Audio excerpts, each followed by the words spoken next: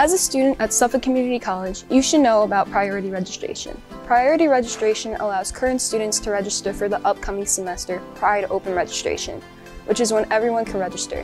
Your date of priority registration is determined by your academic progress. That means the more credits you earn, the earlier your registration date will be. Log into MySCC and select the Student tab, then select Student Information and view your holds to find out when you can register.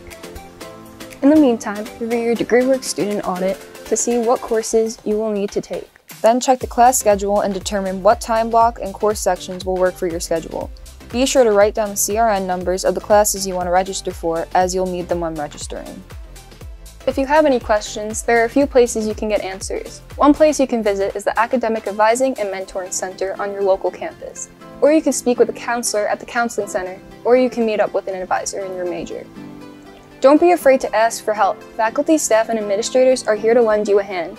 For more information on advising and counseling services, go to the college website at sunysuffolk.edu and search academic advising.